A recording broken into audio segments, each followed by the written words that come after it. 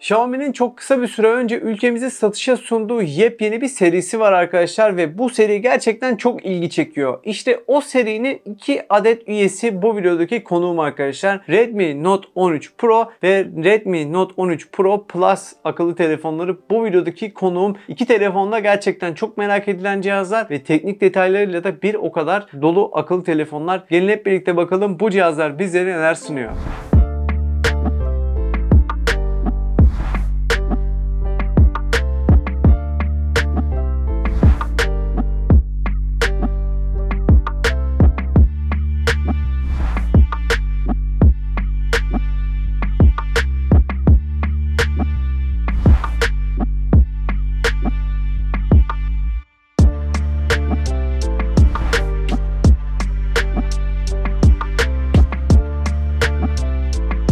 Burada bizi daha çok ilgilendiren detay işin teknik boyutu. Çünkü iki cihaz teknik boyut anlamında birbirinden birçok yerde ayrılıyor ve farklı farklı deneyimleri de bizlerle buluşturuyor. İş gün sonunda şuna geliyor tabii ki onu da söylemek lazım. Bence iki akıllı telefonda fiyat olarak baktığımızda güncel piyasada gerçekten çok farklı bir deneyim bizlerle buluşturuyor ve bu fiyat seviyesinde kesinlikle kendisinden söz ettirecek iki akıllı telefon bu cihazlar tabii ki bu şu andaki segmentteki diğer akıllı telefonlarla karşılaştırdığımız zaman. Kutu içeriklerine baktığımız zaman ise iki akıllı telefonun kutusundan da telefonlar, şarj adaptörleri ve kabloların yanı sıra bir de kılıflar çıkıyor sevgili arkadaşlar. İki cihazın ekranlarını karşılaştırdığımızda ise ekran boyutlarının birebir aynı olduğunu, ekran yapılarının ve yenileme hızlarının da birebir aynı olduğunu görüyoruz. Ancak bazı noktalarda Pro Plus tabii ki kendini ayırıyor sevgili arkadaşlar. Cihazların ekranları 6.67 inç boyutunda arkadaşlar ve AMOLED bir panel yapısına sahip 120 Hz'lik bir yenileme hızı ile geliyor. Pro Plus'ta tam 1800 nit bir parlak parlaklık varken Pro 4K versiyonunda arkadaşlar 1300 nite kadar varan bir parlaklık bizlerle buluşuyor. Pro Plus'ta ekran çözünürlüğü de farklı arkadaşlar. Bunun sebebine birazdan değineceğim. Çok ufak bir dokunuş yapmış burada Xiaomi tarafı bu akıllı telefona. Tabii ki bu da bizlere Redmi 13 Pro Plus'ın daha iyi bir ekran deneyimi sağlamasını sağlamış oluyor. Tabii burada deneyim gerçekten çok güzel iki cihaz içinde onu da söylemem lazım. Pro Plus'ta ekran çözünürlüğü 1220'ye 712 pikselken Pro 4K modelinde arkadaşlar 1080'e 2400 piksele ulaşmış durumda. Pro Plus modelde ekranda bir kavis yer alıyor. Bu kavisi sevenler de var, sevmeyenler de var. Az önce sizlere bahsettiğim durum buydu. Pro modelde ise düz bir tasarıma sahip ekran paneli tercih edilmiş durumda. Gün sonuna geldiğimizde arkadaşlar cihazın ekranlarını sizlere deneyimlerimi aktarmam gerekirse iki akıllı telefonda da Netflix deneyimi ya da buna benzer buradaki video platformlarındaki deneyim gerçekten çok keyifli arkadaşlar. Bir kere onu söylemek lazım. Ancak onun yanında bu fiyat seviyesinde bu multimedya tüketimi oldukça başarılı hem oyun anlamında hem de buradaki genel deneyim anlamında benden ekran anlamında geçer not almayı başardı. Xiaomi ekran anlamında dersine bence çok çok iyi çalışmış deneyimi bu fiyata rağmen üst seviyede tutmayı başarmış. Sevgili arkadaşlar burada stereo hoparlörlerin deneyime de pozitif etkisi çok olumlu. Ekran deneyimi anlamında bu iki akıllı telefonda birbirinden başarılı ve verdiğiniz paranın hakkını vermeye çalışan bir deneyimle bizlerle buluşuyor. Bu noktada Pro Plus modelin ekrandaki koruma camının Gorilla Glass Victus Pro modelinin ise Pro 4K diyorum çünkü birçok varyasyon oluyor biliyorsunuz Redmi ve Xiaomi modellerinde. Bu cihaz 13 Pro 4K arkadaşlar. Bu cihazdaki ekrandaki kullanılan koruma cam malzemesi ise Gorilla Glass 5. Yani aslında önceki yılların amiral gemisi camını kullanıyor bu akıllı telefon. Pro Plus'ta ise şimdiye kadar çıkmış en sağlam yani bir cam daha var şu anda Corning tarafından üretilmiş Gorilla Glass serisinde tabii ki. Hani on, onun bir tık altı diyebiliriz size. Yani güncel birçok amiral gemisinleri bulunan bir ekran koruma camı Pro Plus'ta bizlerle buluşuyor. Gelelim tabii işin performans kısmını çünkü bu iki akıllı telefon performans anlamında birbirinden bu noktada ayrılıyor arkadaşlar. Çünkü 13 Pro 4K modelinde arkadaşlar tanıdığımız bildiğimiz MediaTek'in Helio G99 Ultra modeli bir işlemci kullanılmış. Bu işlemci 6 nanometrelik bir üretim süreciyle üretiliyor arkadaşlar. Pro Plus versiyona baktığımızda ise Dimensity 7200 Ultra işlemciyle geldiğini görüyoruz. Bu işlemci ise 4 nanometrelik bir üretim süreciyle üretilmiş bir işlemci. İki işlemci arasında Geekbench skorları anlamında Pro Plus model Pro 4K modele göre tekli çekirdek skorları anlamında da çoklu çekirdekte de daha iyi bir performansa sahip. Bunun da tabii ki en önemli nedeni işlemci. İşlemciden bahsederken sizlere kamera bölümünde değineceğim bir detay var. Onu şimdiden söyleyeyim. Hatta orada tekrardan bu konuyu vermeme gerek yok. Sizler de sonuçları göreceksiniz. İşlemci farklılıklarından dolayı iki telefon kameralarının dizilimleri birebir aynı olsa bile sonuçlarda önemli farklılıkları farklılıkları da görebiliyoruz arkadaşlar işlemcilerin işleme kabiliyetlerinden dolayı. Bu da tabii ki önemli bir detay diye düşünüyorum. İki telefonda kağıt üzerinde vaat ettiğini bizlere sunmayı başarıyor performans anlamında. Oyun performansı olarak karşılaştırdığımızda ise arada performans farklılıklarının olduğunu sizlerle paylaşmam net bir şekilde mümkün. Her ne olursa olsun iki telefonda performans anlamında mevcut piyasa koşullarına baktığımda fazlasıyla keyifli arkadaşlar. Bunu da eklemek lazım. Note 13 Pro'da bizleri 512 GB'lık bir depolama ve 12 GB'lık bir RAM karşılıyor arkadaşlar. Burada 8 GB'lık RAM ve 256 GB'lık bir depolama seçeneğinin de mevcut olduğunu söyleyebilirim bu akıllı telefon modeli için. 13 Pro Plus'a baktığımızda ise bizleri 12 GB bir RAM, 512 GB'lık bir depolama karşılıyor. 13 Pro'da microSD kart desteği mevcutken 13 Pro Plus modelinde herhangi bir bellek ile hafızayı arttırmak mümkün değil. İki telefonda da çift sim kart desteği bulunuyor arkadaşlar. Bunu da söyleyeyim aranızda çünkü buna takılan ya da bu sorunun cevabını merak edenler olabilir. İki telefonlara çift sim kart desteğimiz mevcut. Bu iki telefonun birbirinden ayrıştığı en önemli noktalardan bir tanesi tabii ki performans arkadaşlar. Ancak iş kamera kısmına geldiğinde birebir kamera dizilimleriyle geldiğini görüyoruz. Birebir aynı kamera dizilimleri var iki telefonda da. Ancak bana göre sanki sonuçlar arasında Pro Plus'ta biraz daha keskinlik ve renkler anlamında pozitif bir durum var gibi geldi. Burada sizlerin düşüncelerini oldukça merak ediyorum. Kameralara baktığımız zaman ana kamerada iki cihazda da 200 megapiksellik f1.7 diyaframa sahip bir kamera bizlerle buluşuyor.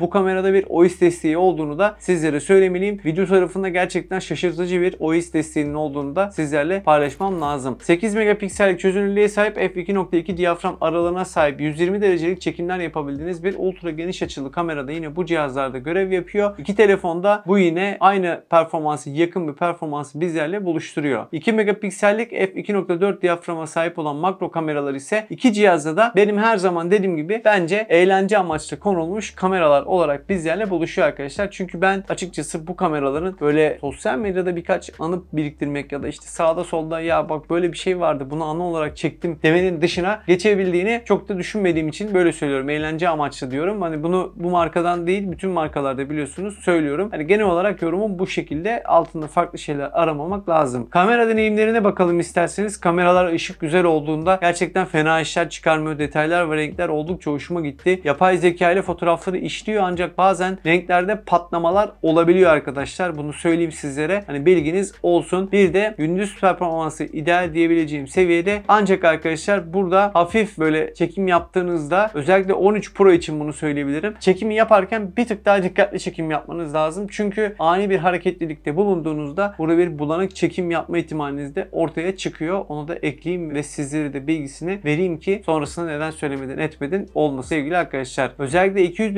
megapiksellik ana kamerada detaylar çok daha başarılı bir şekilde ortaya çıkıyor arkadaşlar. Ancak gece çekimlerinde ana kamera dışına baktığımız zaman hafif granlenmeler, hafif bulanıklaşmalar oluyor. Mutlaka gece modu kullanmanızda ve bu gece anlamındaki çekimlerinizde çok daha dikkatli olmanızda fayda var sevgili arkadaşlar. İşin video tarafına gelelim isterseniz çünkü bu telefonlar video kayıt seçeneklerinde de birbirlerinden ayrışıyorlar arkadaşlar. Burada video olarak Pro Plus versiyon bizlere 4K 30 FPS çekim yapabilme kabiliyetini sunabilirken Pro versiyon ise 1080p 60 FPS kayıt yapabiliyor arkadaşlar. Video performansı olarak cihazlardan çok üst düzey bir beklentiye bence girmemenizde fayda var. Cihazların hedefi zaten genel olarak fotoğraf üstüne. Onu da sizlere söyleyeyim ve buradan arkadaşlar ön kameraya geçeyim. İki cihazın da ön kamerası yine kağıt üstüne birebir aynı 16 megapiksellik f2.4 diyaframa sahip bir kamera görev yapıyor ve bu iki kameranın da gün ışığı altında güzel işleri koyduğunu bizlerle buluşturduğunu söyleyebilirim. Işık azaldığında performansı bir tık düşme oluyor ama burada diyaframdan dolayı bu granlenmeler bir tık da olsa hissediliyor. Yine burada şunu söyleyeceğim. Pro Plus'la Pro'nun arasında ön kamerada da yine bence işlemci farklılıklarından dolayı görüntü çıktısında bir farklılık olduğunu düşünüyorum. Sizler ne düşünüyorsunuz? Sonuçları zaten gördünüz. Lütfen düşüncelerinizi yorumlara yazmayı ihmal etmeyin sevgili arkadaşlar. İşin yazılım kısmına değinelim isterseniz. İki akıllı telefon içerisinde de son sürüm Android 13 var arkadaşlar. Bunun yanı sıra arayüz olarak da MIUI UI 14 ile yani en güncel arayüz ile geliyor.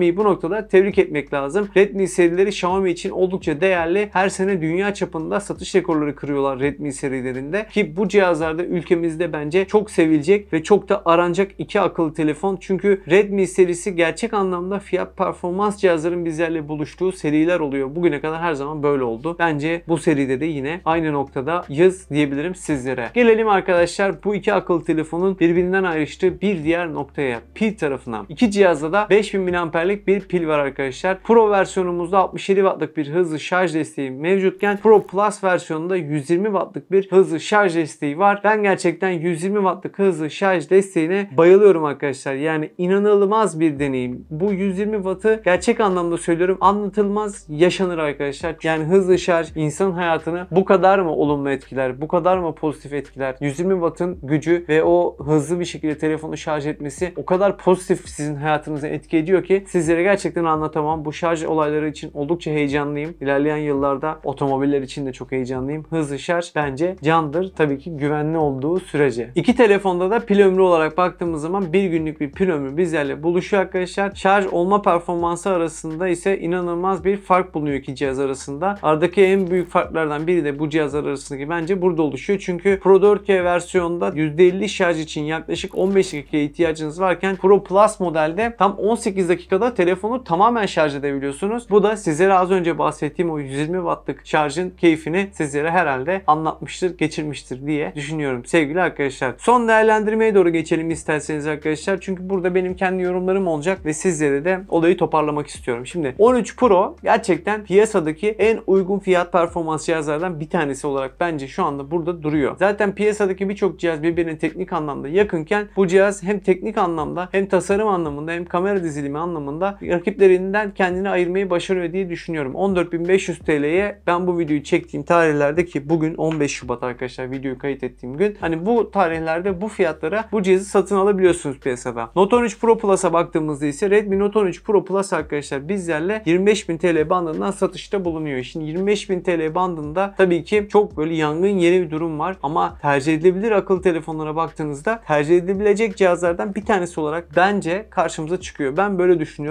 Kolay kolay böyle söylemem biliyorsunuz arkadaşlar. İki cihazı da beğendiğim için bu şekilde bir yorumda sizlere bulundum. Tabii sizlerin yorumlarını da oldukça merak ediyorum. Sizlerin bence en önemli eleştirisi burada bu cihaz için 13 Pro için söylüyorum. İşlemcisi olabilir. Helio G99 falan gibi bir yorumunuz gelebilir diye düşünüyorum. Ancak piyasaya bakıp değerlendirme yapmakta fayda var diye düşünüyorum. Açıkçası iki telefonda güncel piyasada beğendiğimi ve güzel bulduğumu zaten eksik ve hatalı gördüğüm noktaları da sizlerle paylaşmaya çalıştım elimden geldiğince. Ancak gün sonunda arkadaşlar piyasanın durumu ve akıllı telefonların farklılıkları da ortada diye düşünüyorum. Bu noktada her zaman olduğu gibi sizlerin düşüncelerini de oldukça merak ediyorum. Sizler de bu akıllı telefonlar hakkındaki düşüncelerinizi yorumlara yazmayı, bu videoyu beğenip tabii kanalıma abone olup bir de bu videonun altına bir yorum bırakmayı ihmal etmeyin sevgili arkadaşlar. Bir sonraki videoda görüşene kadar kendinize çok iyi bakın. Hoşçakalın efendim. Bay bay.